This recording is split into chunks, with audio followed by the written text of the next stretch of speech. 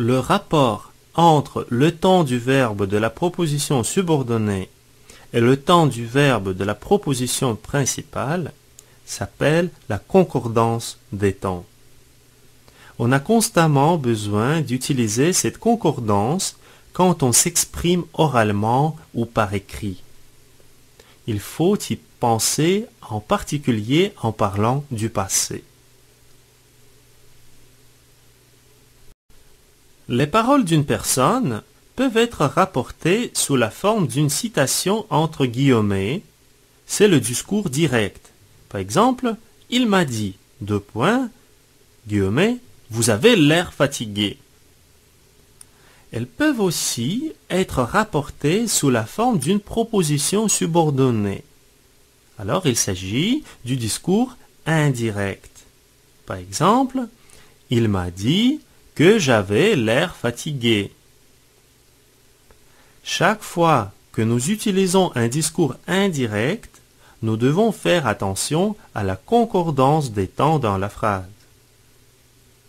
Quand le verbe de la proposition principale est au passé, les temps des verbes de la proposition subordonnée changent au discours indirect.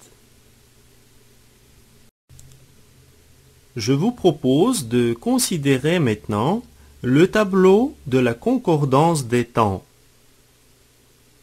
Dans le discours indirect, nous pouvons avoir deux plans, le plan présent et le plan passé.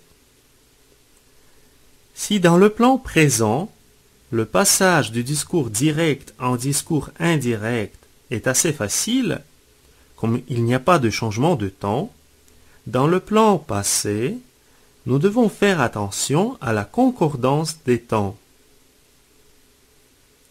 Dans la concordance des temps, nous avons les changements des temps suivants. Le présent devient l'imparfait.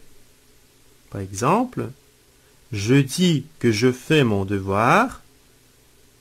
Au passé, ce sera j'ai dit que je faisais mon devoir. Le passé composé du plan présent se transforme au plus que parfait dans le plan passé. Par exemple, je dis que j'ai fait mon devoir. Au passé, j'ai dit que j'avais fait mon devoir. Le futur simple devient le futur du passé. Par exemple, je dis que je ferai mon devoir et au plan passé, j'ai dit que je ferai mon devoir. Et finalement, le futur immédiat aller au présent plus infinitif doit se transformer en futur immédiat dans le passé. Aller à l'imparfait plus l'infinitif. Par exemple, je dis que je vais faire mon devoir. Au passé, ce sera j'ai dit que j'allais faire mon devoir. Les expressions de temps dans le discours indirect doivent être relatives au passé s'il s'agit d'un contexte passé. Voici quelques expressions qui changent au passé. Maintenant, en ce moment, devient à ce moment-là ou alors. Aujourd'hui se transforme en ce jour-là.